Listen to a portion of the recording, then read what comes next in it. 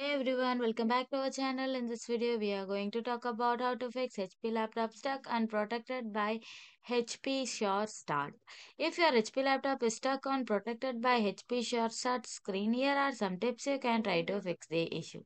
Fix 1. Perform a hard reset. Turn off your laptop, disconnect the power adapter and remove the battery if it is removable.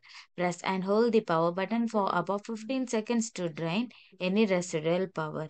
Reconnect the battery and power adapter then try to turn on the laptop. Fix 2. Access BIOS setup. Restart your laptop and press F10 to enter the BIOS setup. Go to the security menu and locate BIOS Sure Start. Uncheck Sure Start BIOS settings, protection and save the changes. Fix 3. Run HP PC hardware diagnostic. Use the HP PC hardware diagnostic UEFI to run the hardware test. Turn off your laptop and immediately press escape key repeatedly to press F2 to enter the diagnostic menu.